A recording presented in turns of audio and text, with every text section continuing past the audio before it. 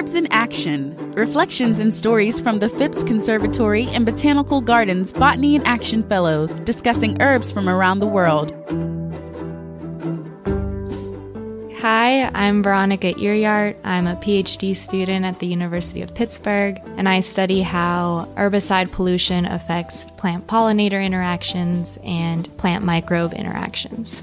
And the herb I would like to talk about today is wild lupin. So its Latin name is Lupinus perennis, and it's a really beautiful plant. It grows in kind of a stalk like shape so kind of tall in the grass, and it has these bright blue purple flowers that are pea like shaped.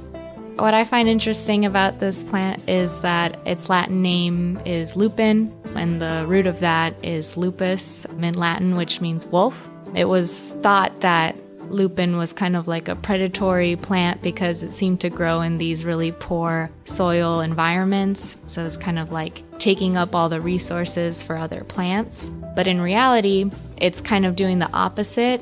It forms this special relationship with soil bacteria called rhizobia, where the rhizobia fix atmospheric nitrogen into a form that the plant can access and helps it grow better, but it also improves the soil quality for other plants in the local ecosystem.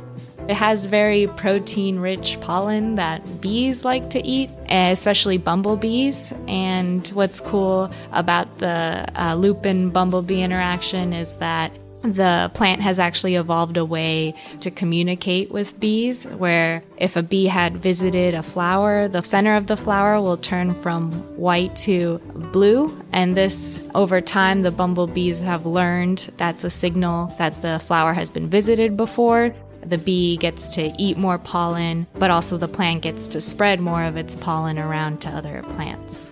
While the plant doesn't make nectar, it does host a lot of caterpillars for different butterfly species, including the Karner blue butterfly, which is an endangered species, and it only uses food from the lupin plant to grow as a caterpillar.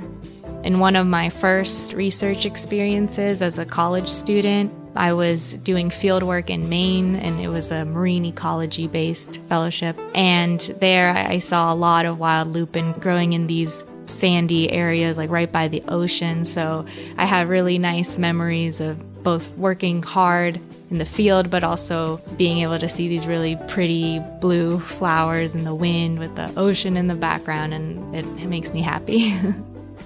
Herbs in Action is a collaboration between Phipps Conservatory and Botanical Gardens and the Saturday Light Brigade and is made possible by the Mary Jane Berger Memorial Foundation, dedicated to educating the community about the many benefits and uses of herbs. To hear this feature again or to learn more about herbs from around the world, visit mjbergerfoundation.org.